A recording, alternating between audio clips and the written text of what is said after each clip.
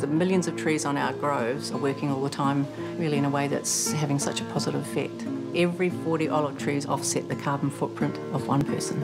Cobram Estate, Australia's most loved extra virgin olive oil.